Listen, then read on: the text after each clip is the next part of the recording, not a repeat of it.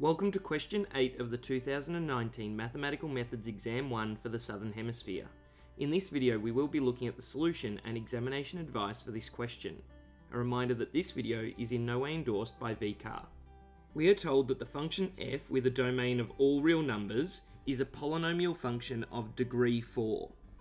Part of the graph of f is shown below, and we know that the graph of f touches the x-axis at the origin, so that's a turning point at that point on the graph. For part A, we're asked to find the rule of f.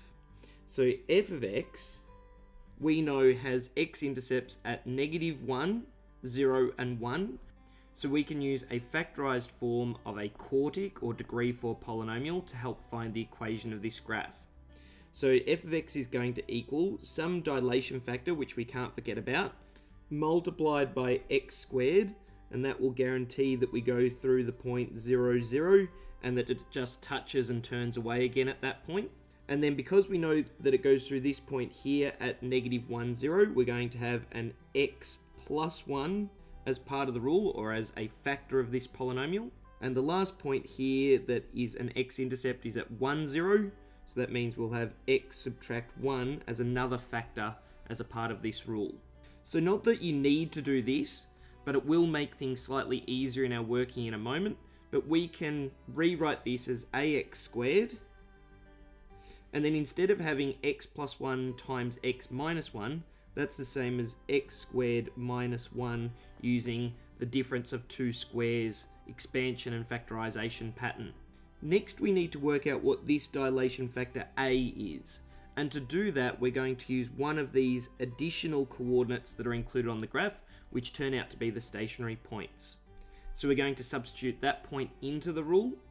So f of x, we're going to substitute in 1 over root 2.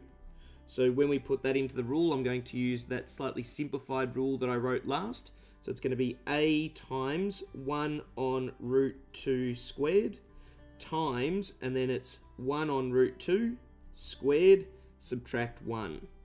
And now we know that this is going to equal the y value of that coordinate, which is 1.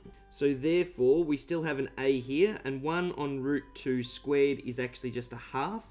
So we have a times 1 half times, and then this is a half subtract 1, so that will turn into negative a half and that's still going to equal 1. So therefore, we actually find that negative a divided by 4 is equal to 1. So therefore, multiplying by negative 4, we get a equals minus 4. However, the question asks for the rule of f. So that means that we need to work out the rule, which is as simple as substituting the a value we just found into the rule we already had. So that means that f of x is going to equal a, which is minus 4, times x squared times x squared subtract 1. So that is our final answer for part A of this question. The examiners remarked that this question was well attempted by students but not well done, with only 14% of students getting full marks for that question. Many students overlooked the dilation factor, which we found to be negative 4 on the previous slide. Next, the question introduces g, which is the function with the same rule as f, and we're also going to let h be the function with some domain d, where h of x has a rule log e of g of x minus log e of x cubed plus x squared. And for part b, we're asked to state d, which is the maximal domain of h. So for this question, the domain d, which is the maximal domain of h, is going to equal the domain of this first part of the rule, because we're adding two smaller rules together to create the function h. So it's going to be the domain, which I'm just going to write as DOM, of the rule log e of g of x, which had the same rule as f of x, which was minus 4x squared bracket x squared minus 1, if I remember correctly. And that there is going to be the domain of that intersecting the domain of this second rule that's actually subtracted off. So it's the addition of two rules, or in this case, the subtraction. The overall domain is the intersection of the two. So we're going to look at the intersection between the first domain and the domain that is of the rule log e of, and it's going to be x cubed plus x squared. So that's fairly full on to look at. So what I'm going to do next is just have a think about what log e of x cubed plus x squared would have for its domain. So the domain that I've got written here in purple. So on this set of axes, I just want to sketch the rule which is y equals x cubed plus x squared, which is the bit that's inside that log. I'm going to rewrite that as being y equals x squared bracket x plus 1 in factorized form because this will tell me that there's an x-intercept at minus 1 and there's a turning point at 0, 0. And it's a positive cubic, so we know that it's going to have this shape here. So that is the graph of x cubed plus x squared, which is the inner function of log e of x cubed plus x squared. And we know that a log e function will only exist when the function inside has values that are positive and non-zero. So because we know this is negative 1, 0, and this is 0, 0, the only parts of this graph, so this is really a composite function question at the moment, the only parts of this graph where the y values can then go inside a log go from just after negative 1 to almost 0, and then from 0 onwards again. So they are the y values of that inner function that can then go inside the log function.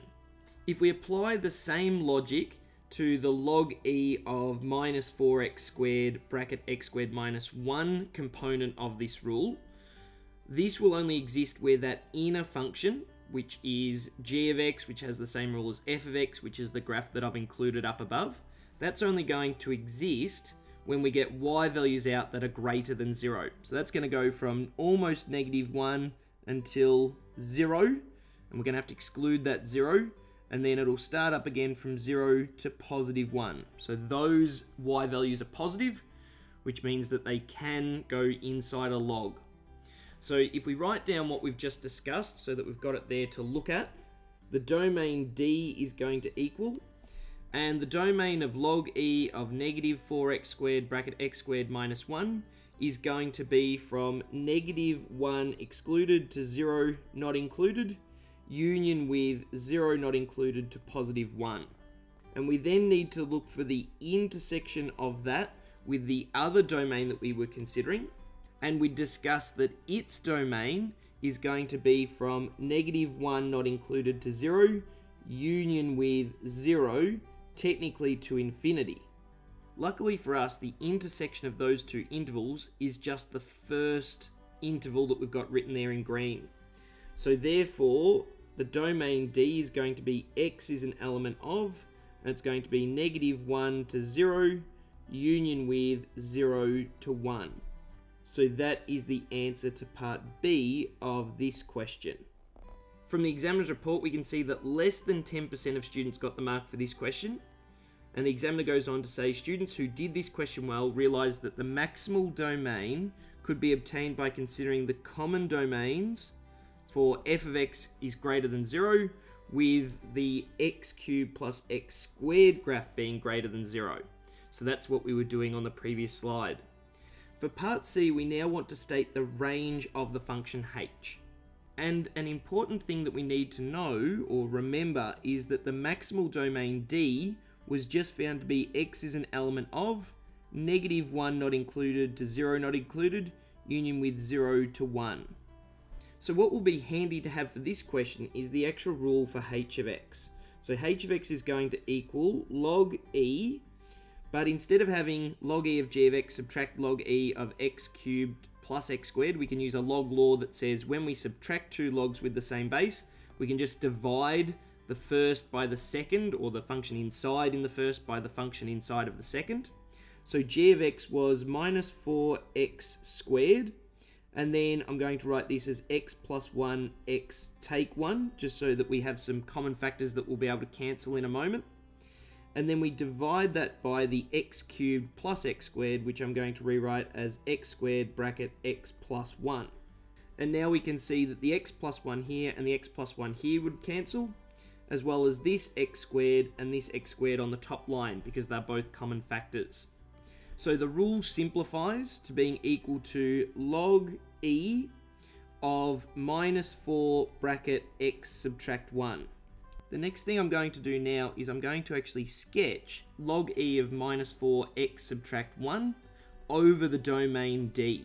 So just having a set of axes here where we can put that. We could look at the rule and see that there is going to be an asymptote at x equals positive 1. So if we just do a dotted line, preferably ruled down here at x equals 1, we then know that the log graph, due to this negative 4, is reflected over the y-axis.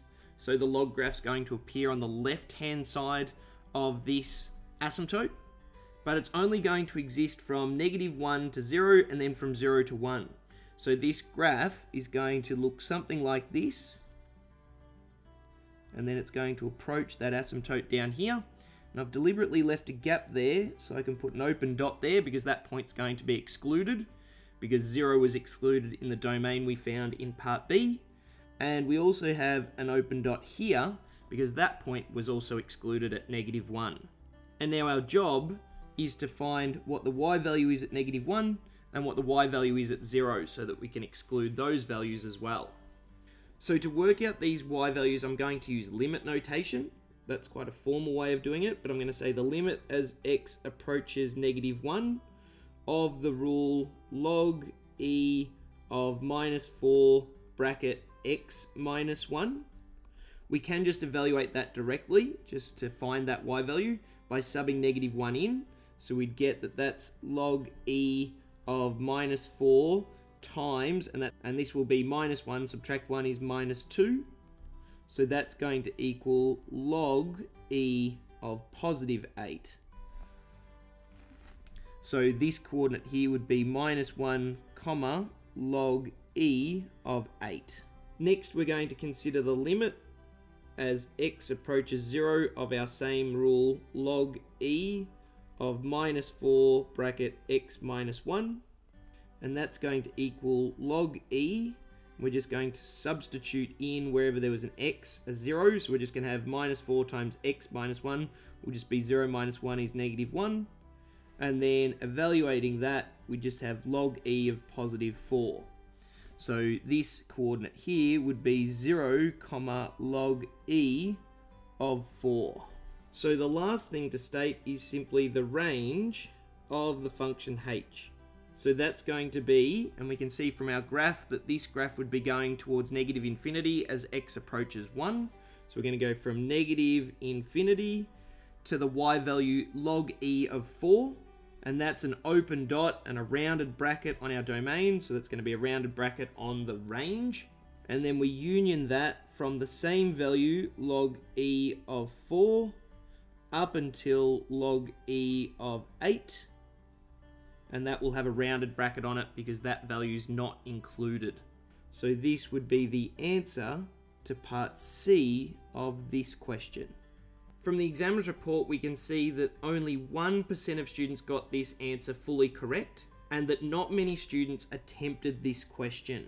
Very few students used the logarithm laws, which were required to help simplify the h of x rule, and some students sketched various graphs with limited success. So on the previous page, I showed you a graph that would have led to an answer, but it would appear that many students on this exam didn't know how to tackle this kind of problem which based on the numbers, it shows that it was a particularly challenging problem, again with only 1% of students getting full marks for the question.